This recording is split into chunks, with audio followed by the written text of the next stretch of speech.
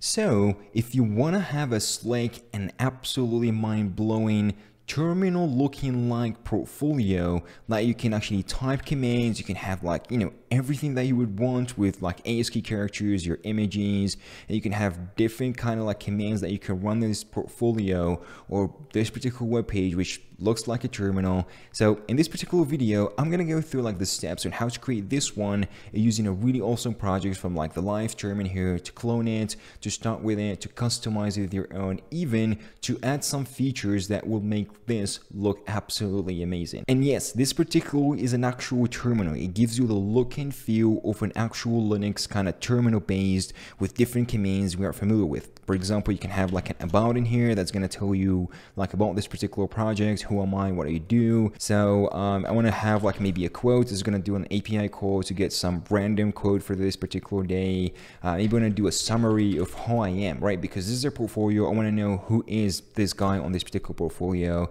If you do like some fetch in here, I'm going to have like different stuff like who am I with some awesome ASCII characters in here and like different like resume, um, like my GitHub portfolio if you want to like contact me. So if you go to GitHub and it's going to take you, even you can just like type in quick commands for like GitHub, click enter is going to open up a new window. Maybe you want to do like LinkedIn. You can do plenty of stuff, right? So you can have like um, a quick resume thingy.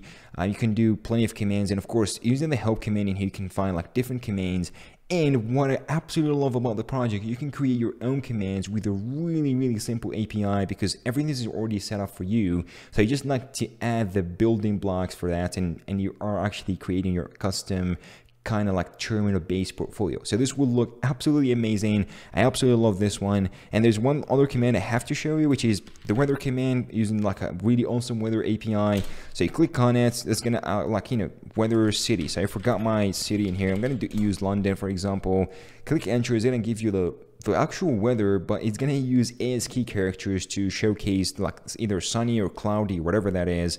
So that is amazing and mind-blowing. So without further guys, let's jump right into the video. So in order to get started with the live terminal or like to actually clone and install this, you can have or basically have two particular choices. You can just, the easiest one is actually to go to this particular repository and clone it, which I don't really advise you. But luckily for us, there's an install script inside of here. So it's crazy like to get started with your live terminal less than five minutes, you can, all you can do just go and copy this particular one and run it in your terminal. And that is it. This will just go ahead and install the whole repository. It will run the yarn install. It will install the dependencies and everything. So just make sure to have yarn installed in your machine and you are basically good to go. So if I do that, go copy paste and you know, just like have to know where you want to put that. As soon as you put this one up particularly, you're going to have live terminal installed. Then you're going to have like everything is going to start installing for you uh, using yarn set before. So just you know, give it a couple of seconds. All right, now if we take a look quickly on the project right here, we're gonna notice that, oh, this one is actually using Next.js,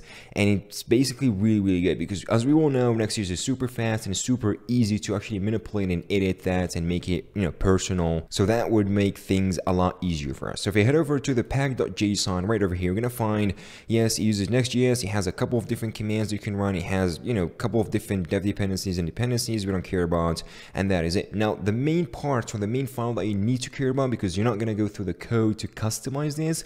Rather, there is a config.json and this is which like basically the file that you need to customize to make this as your portfolio. So you can customize a readme file, uh, customize the title of the here, your name, your ASCII character in here, your GitHub and, and LinkedIn usernames in here, email, the host name in here, like, you know, the host name of the terminal, like something like this. So where you say Islampinus, for example, as, as Ubuntu, whatever in here. Uh, you're gonna have resume URL, you know, donate URLs, and plenty of more. And of course, which I absolutely adore and love about this, actually you can customize the colors as you would like. So you can customize the light colors or the dark colors. So let's go ahead just take a quick look on the actual, you know, my website right now. So I'm going to do yarn dev to start the development thing. And it's going to start the dev server in here from, you know, server like on Next.js is going to be compiled. So if I head over to Chrome and I go to like localhost 3000, there you go. I'm going to find live terminal in here and, and that's actually what it looks like. So right now what I want to do first is actually just go ahead and change from a light theme and apply the actual dark theme because the terminal is better in dark theme.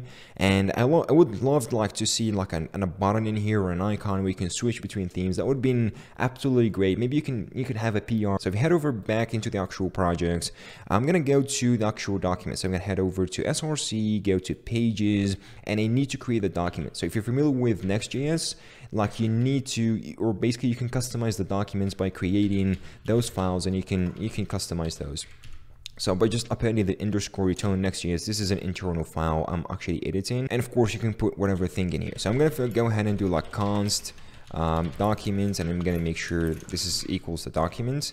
So this will be the documents and make sure to export defaults documents there you go. And that should be pretty good. So this is actually the document and it's going to be compiled. So clearly see as soon as I control S, this will be compiled for us. Now what I need to add on top in here is actually I want to change the actual class. I want to set dark class to dark name or just to dark in here and because this particular project uses Tailwind this will automatically gets applied on, on Tailwind basically and it's going to apply it to the whole website and that's absolutely great now there's one more settings that you need to go ahead and change is actually the Tailwind settings so if you head over to tailwind.config.js you're going to be able to change from media for the dark mode from media to class and that's just basically to instruct it to use the actual class annotation in here instead of just using media queries by the browser or by the operating system all right, pretty cool. Now if I head over back there you go. We got our dark mode in here and this is looking absolutely like 50% better than it was before. And the next thing I want to do next is basically to change the configuration in here and just to put my own information to make it, you know, look like my own portfolio. So here I copied actually most of, you know, the changes I've put as well. So for example, readme and everything, I copied everything. And as well, I changed the actual dark theme. So I just, you know, manipulated a little bit the dark theme in here just to make it a little bit more darker rather than just like the bluish thing. This is the old theme in here. It had like a bluish stuff, but now it's it's a little bit more darker and it feels like, oh, I'm actually in the dark. So this is uh, this is looks like more of a terminal kind of like style. Okay, so this is what it looks like finally. And you like, for example, you can have like the host name, the username. You can put help. You can have plenty of different commands, and that is that is absolutely good. I, I absolutely enjoy having this cool theme in here, and especially manipulating the different colors that you can you know mix and match to get the perfect theme for your own style. And now, if you want to actually customize this banner in here, which is looking like an ASCII kind of banner style, but I found this really simple website in here that does basically the job that creates this one almost the same way in here, but probably you can find something better than me. I'm not really that well known with banners and actual ASCII code. So I went through here to this website, I go to like ANSI Shadow, choose this particular font, you can choose plethora of them and you can do like you know uh, the different spaces in here and just put my name in here and I can go ahead and like copy the banner. So if click on this the banner is going to be copied. I'm just going to be having this warning whatever I don't care about it.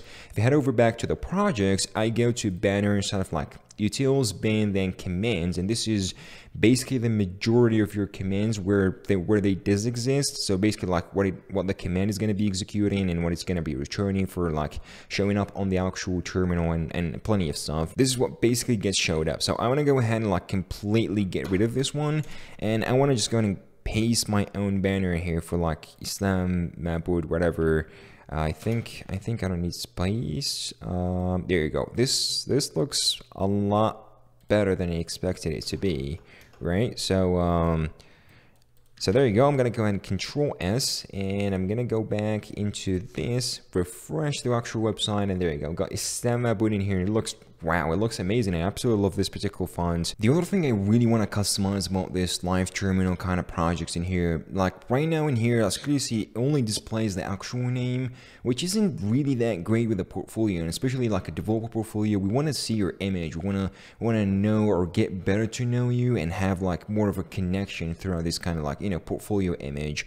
So um, I would love to actually display my image in here, plus like just do the, the ASCII kind of coding. So my image then plus this time I put in here whatever like ASCII code you want to display. So I had what I did actually actually just go in and copied some like my headshot in here. So my my actual headshot.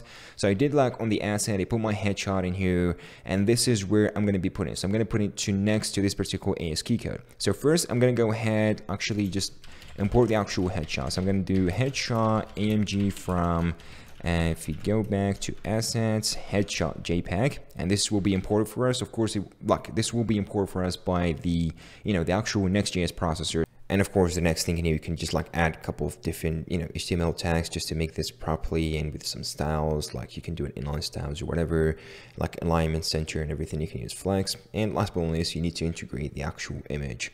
So um, the image in here, we're going to use our image in here. And since it's actually Next.js, so it's going to be like imported for us and everything. So we are in the right track in here. So we want to just like limit the width and maybe some styles just to, you know, give it a proper style in between here and there. And that should be good to go. So um, yeah, you need to figure out like the src in there and that should be good to go. So like you have an image, you have everything that you want with that ASCII. It looks absolutely amazing. And the last thing I want to do is actually deploy this particular like quick portfolio or terminal portfolio and I'm going to use Vercel. So if you're not familiar with Vercel, it's just basically the creator of Next.js and it works absolutely flawlessly with Next.js, any Next.js project because it's actually the creator. So simply just put npx Vercel in here and this will just like ask you to log in if you're not already. Now I'm already logged in and everything. So I'm going to just like go ahead and ask me to deploy. I'm going to click Y or yes. And uh, yes, I want to use this particular scope, link to existing projects, not really. Uh, the name of projects in here, just like naming my same name, so it's that MacBook portfolio whatever. You can just like name it whatever. The code is in this particular repository is going to set up the project real quickly. And of course, it's going to start the actual uploading process. And this is this can take a little bit of like a couple of different minutes because it needs to run the actual Next.js build. Then it actually just like needs to upload everything.